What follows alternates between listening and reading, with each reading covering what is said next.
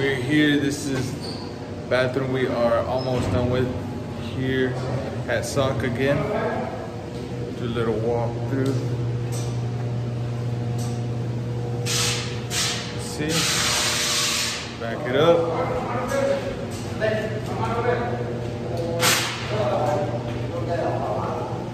Another level five skim coat over plaster. It's kind of, a little bit bad if you can kind of see.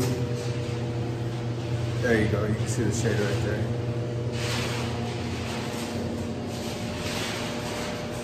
Would, that's what it is. Some more up here. Look at that. Level level five.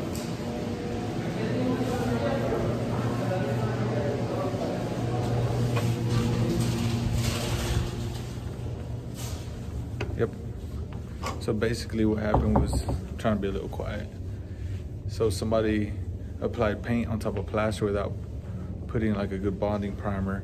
It started cracking, started bringing down all the plaster. So went up in there, scraped it, skimmed it. This is eight bathrooms. So pretty nice little job. We got it.